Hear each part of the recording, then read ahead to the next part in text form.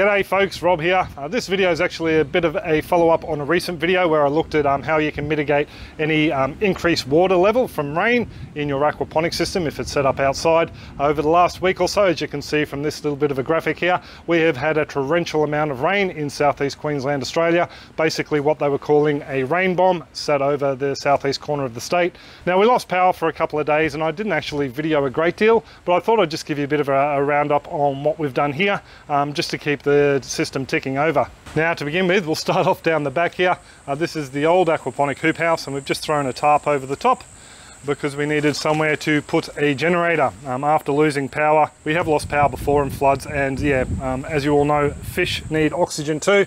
So we had to find some way to power the um, system. Now, I do have a battery operated backup system, but the 100 amp battery I had in there would only last so long. Um, so we needed to get ourselves a generator and we ended up getting this little jobby here. Um, not an ad for that company whatsoever, but we decided to get one big enough that would also run the freezers as well, as we knew the power would be out for a couple of days and we have um, more than a few dollars worth of food um, frozen in the freezer. And basically we ran a extension cord, one up to the house for the fridge and freezer and um, one to the aquaponic system and made sure we definitely had a drip loop so any water that um, accumulated on the cord would come down and drip on the ground and not go uphill and into the generator plug itself and cause issues. And to keep it off the ground we popped him over an IBC cage here and then over the top of another little barrow because we definitely didn't want it sitting in all that water. We've still got water sitting on the ground everywhere. And then from there we had it behind my little yin yang sign. And yes the painters um, haven't finished yet. Well their stuff is still stored down here. It'll be a couple of uh, probably a week or so before they get back. But yeah the power was held up there off the ground and then over to the um, aquaponics area where Bianca is currently hand feeding fish I think so they've been um, slowly being acclimatized to having us over the top of the tank with Bianca feeding them but as you can see they've still got their appetite and the water is very clear in there at the moment uh, because we've increased the uh, flow rates to everything. Um, I'll just leave Bianca to that and we'll have a look at the pH in the system. Uh, this is going to take a while to level out but you're going to have to trust me it's sitting at around about 6.7 at the moment. 6.6, 6.7 um, so the pH in the system has stayed rather high. I have only dosed it twice with calcium hydroxide in the last four or five days and from what I can tell, the plants aren't really suffering at all, except for the blooming caterpillars are back on these beetroot. Oh, by the way, these beetroot will be sacrificed very soon, that one for the uh, dinner table. Um, we're just going to polish off any decent leaves on these guys and start plan planting out some brassicas because we're coming into, actually it is autumn now, or fall. Happy autumn and fall to all you Aussies. Um, yeah, so we're going to start getting some of our winter crops in. There is actually um, one lot of plants that do look like they have suffered a bit, if I can get the camera up, and that is the beans.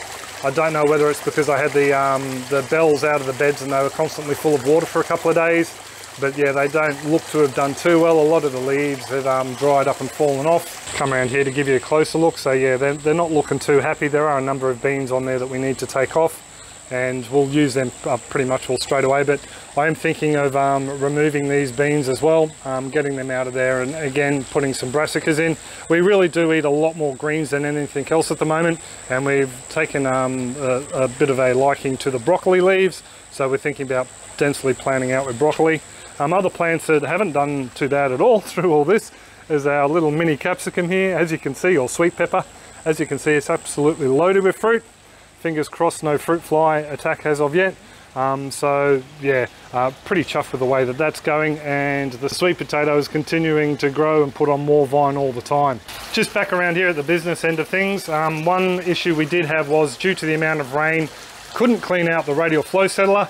So we ended up having a lot of solids bubbling up from the bottom. Basically they start to um, decompose down the bottom, produce a lot of gas and the solids raised to the surface and as a result I had a whole heap come through here to the moving bed bioreactor. Unfortunately, I thought I filmed it, but um, yeah, I can't find the footage. We had a lot of solids come in here and um, clog up this little outlet arm that drops water over the top. And then the um, cleaner water or processed water is brought up through the solids lifting pipe there. Um, so yeah, we basically had a load of solids enter into there. And because the uh, tank itself was so full, I couldn't decant off any water with our little bleed off valve here. Um, so we decided to actually just pump it out straight from the bottom out onto the yard and we ended up decreasing the overall volume in the whole system by around about 200 litres which was fine because it meant we could um, then turn the beds back into a flood and drain again. Um, one consequence of that was a lot of solids in here. Um, I decided to try and clean them out the best I could. So I opened up the air valve all the way and we ended up with a lot of solids coming through the outlet into that little filter down there. So much so that it's pretty much all clogged up that little filter as you can see.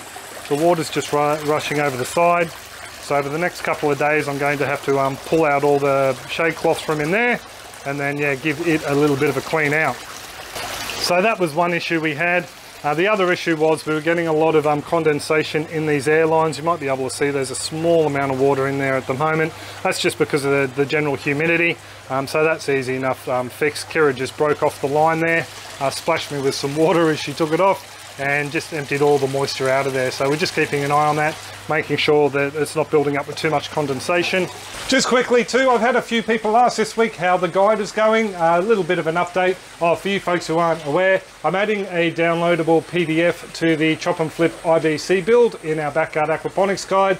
More information about that guide up there and then down in the description. I've got all the information down. Now I'm just having to recreate a couple of pictures because I've added extra information into the PDF that isn't in the video section of that module. So fingers crossed I'll have it done by next weekend. A couple of days without power uh, really did set me back a little bit. And a bit of a heads up, uh, once all those um, PDF downloadables are put on the guide, in the associated video modules, the price will be going up to uh, $20 US. Um, so yeah, if you buy it now, you get um, everything that I add later on uh, will be covered in that price and you don't have to pay anything extra. But anyway, that's enough of that uh, back to the system. Just back to the power issues. Uh, what we have here in the cabinet is our backup air system. So we have a little backup pump down there. I've actually got a video on this um, you can check out. It was when it was hooked up to the old system. There'll be a little link that pops up somewhere. So this little pump pumps out that many um, litres of air per minute um, because I forgot and is basically run by this 100 amp hour um, deep cycle battery and this little um, relay just controls whether it comes on or off. Basically if the power is on the little switch is held open. As soon as the power is cut off the switch closes completes the circuit and that little um, compressor kicks on sends our air up here which is teed into our um, air line that comes from this compressor. We have a one-way valve there that stops air going down into the compressor. And over there at the back we have a one-way valve that stops air from this compressor going down into the um, backup one while it's not working. So the air just comes through there and goes into the uh, fish tank on the same line. It just makes life a heck of a lot easier running it that way. Uh, one thing I did have to do was go out and buy a, a charger that was suitable for a deep cycle. Um, I have had people tell me that you know a solar charger um, would be great for this job, um, but then again it wouldn't have come in handy um, over the last uh, four or five days as it was basically overcast the same time. But yeah, so that's how the backup um, is set up there with the air. And all I had to do is basically plug the um, little uh, power board plug from over the back there straight into here and we just ran it off the generator um, for a couple of days. So um, it really, really paid for itself. It kept the fish alive for three days when that battery probably would have only lasted for oh, 36 to 48 hours. Really chuffed with the way it went, um, no fish loss.